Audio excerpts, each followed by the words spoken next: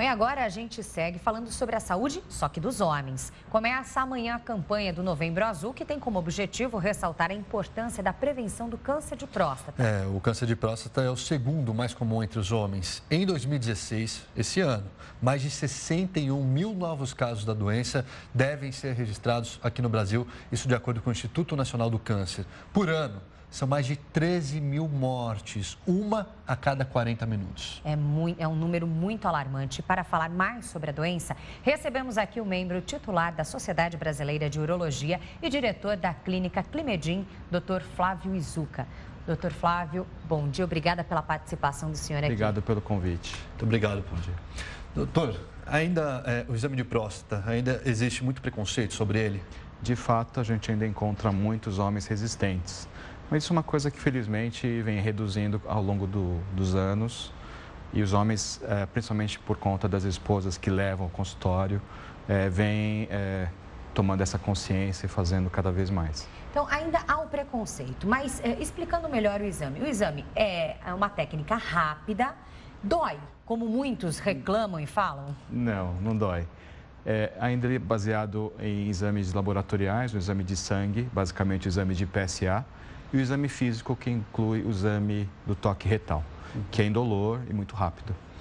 Então, por isso é importante o apoio da família, né? A pessoa tem ali preconceito. O que ela deve pensar na hora de ir lá fazer o exame? Pensa na família e toda a dor que pode causar aos familiares, né, doutor? Porque câncer a gente sabe que é uma doença que infelizmente mata, como a gente mostrou aí com os números, os dados que a gente Sim. deu.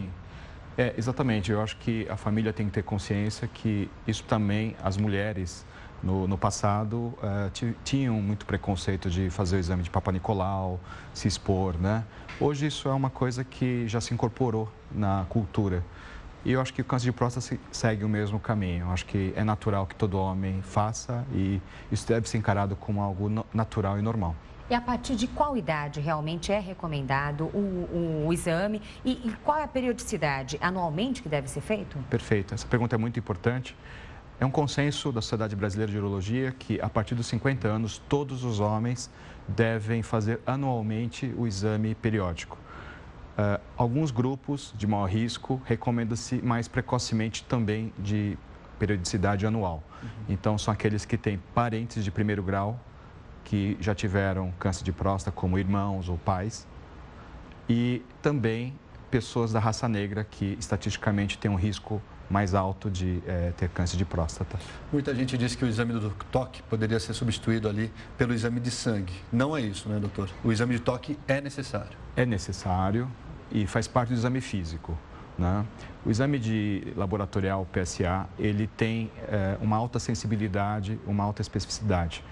Só que ele isoladamente nós não é, recomendamos como um exame de rastreamento e detecção precoce.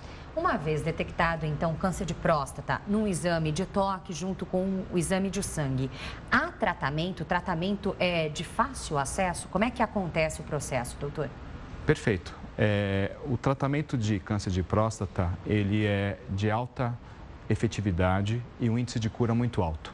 Se o indivíduo é detectado uh, numa fase inicial, onde normalmente ele não tem sintoma nenhum, é importante ressaltar isso, a, a chance de cura é de mais ou menos 95%. Tá? Um número alto, né? É alto. E, basicamente, a cirurgia é uma das opções mais atraentes, principalmente nos indivíduos mais jovens. Como segunda alternativa, a radioterapia também tem índices de cura maior que 90%. Uhum. Há alguma sequela depois, ainda que depois do tratamento, que fique para o aparelho reprodutor, então, masculino? Uh, Existe o risco, sim, de sequelas. A cirurgia tem um potencial risco de provocar incontinência urinária, ok? Uhum. E, e também, um, em alguns pacientes, a possibilidade de impotência, tá? A, a, a ocorrência dessas complicações do tratamento é baixa. A incontinência é menos de 1% e a impotência tem um índice mais alto, depende muito da idade do paciente. Uhum. Se o paciente for jovem, o risco de impotência é menor. Se o paciente for é, na faixa de 70, 80 anos, o, o risco é bem mais elevado. Doutor, o homem vai menos ao médico do que a mulher aqui no nosso país. A gente tem aquela síndrome do super-homem, né? Eu nunca estou doente. Se eu não vou ao médico, eu não descubro doença nenhuma, então está tudo bem. Ainda é assim? De fato, a gente percebe que a mulher tem uma consciência maior na questão da prevenção, né? E a gente percebe muito é, esposas que levam os maridos para fazer o exame é, periódico.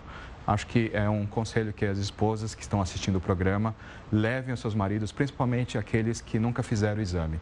Porque, como eu disse, ele é indolor, é rápido e pode é, detectar uma doença bem no início que tem cura. Uhum. Né? Claro, Salvar é, isso vidas, é mais né? importante, né? O melhor esforço de tudo isso é a prevenção. Doutor, ainda contra aqueles maridos, aqueles homens que dão um certo trabalho na hora de ir lá ao médico, Quais são os sintomas, já na fase onde o câncer está em desenvolvimento, que podem ser notados, inclusive, pelo próprio paciente ou por familiares ali no local? É, a grande maioria dos pacientes que têm um câncer na fase inicial não apresentam nenhum sintoma, né? Mas ocorrência de alteração no jato urinário, o jato que fica mais fraco, dificuldade para urinar, é, sangue no esperma, é, qualquer sintoma relacionado ao trato urinário é motivo de alerta e deve ser investigado com um urologista. Que inclusive já pode sinalizar um câncer de próstata, por exemplo. Eventualmente sim, mas volto a dizer que a grande maioria dos pacientes que tem câncer de próstata numa fase inicial, pelo menos no primeiro ano, não tem nenhum sintoma. Uhum. Então não, não adianta a pessoa é, achar que é, por não ter sintoma não tem nada. Realmente é preciso fazer o exame é, de rastreamento. Sobre a campanha Novembro Azul, qual que é a importância dela? Claro, levar os homens aí aos médicos, mas vocês têm notado já uma melhora desde o início dessa campanha? Eu acho que é uma iniciativa muito positiva. A gente percebe que é, no mês de novembro as pessoas se conscientizam e o número de pacientes que procuram o exame pela primeira vez aumenta sensivelmente. Eu acho que realmente é uma campanha de grande importância. Lembrando que o câncer de próstata é o câncer que mais mata uh, o homem, ok? É, é, é o segundo câncer que mais mata e é o primeiro em, é, incidência no sexo masculino. Uhum. Ou seja, é um câncer extremamente importante. Como a gente viu, mais de 60 mil pessoas devem ter o diagnóstico no Brasil apenas nesse ano. Seja... Essa estatística que nós vimos de um homem morrendo a cada aproximadamente 40 minutos, isso são fatos uh, onde o diagnóstico foi feito de maneira tardia, a grande maioria, eu acredito. É, infelizmente, a gente sabe que uma porcentagem dos pacientes tem o diagnóstico tardio, né? E os números do Instituto Nacional do Câncer mostram que, infelizmente, um em cada quatro pacientes que tiveram o diagnóstico de câncer, eles vão vir a falecer. Lembrando que, se eles tivessem o diagnóstico precoce, 95% teriam a cura. Então, essa é a importância da campanha. Tá ótimo, doutor Flávio. Muito obrigada pelos esclarecimentos obrigado do senhor vocês. aqui no Link Record News. Okay. Muito obrigado, doutor. Obrigado.